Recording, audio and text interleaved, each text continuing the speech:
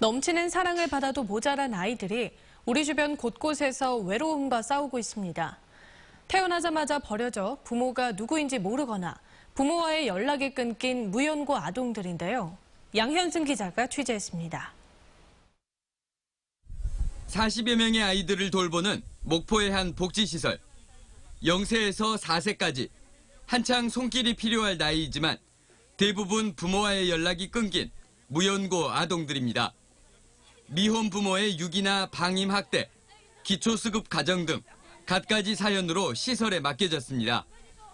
교사 한 명이 최소 4명의 아이들을 24시간씩 교대로 돌보다 보니 자원봉사 등 도움의 손길이 절실합니다. 아이들 데리고 뭐 나들이를 같이 가준다든지 아니면 아이들 그 학습하는데 이제 좀 옆에서 도움을 주신다든지 선생님들이 힘들 때 아이들하고 같이 이렇게 전남 22개의 아동 보육시설에 입소한 아동은 지난해 기준으로 1,100여 명.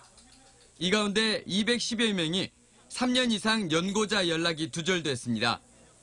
정부 지원금 매달 20여만 원으로는 기저귀와 분유 등 생계비로도 빠듯해 꼭 필요한 학습이나 심리치료 등은 사실상 어렵습니다. 어, 성장해가는 과정에서 어, 심리적으로 심리적으로 아이들이 이제 버려졌다라는 그런 상처감 때문에 정서적인 치료비가 가장 많이 어, 욕구 조사에 가장 많이 꼽혔고요.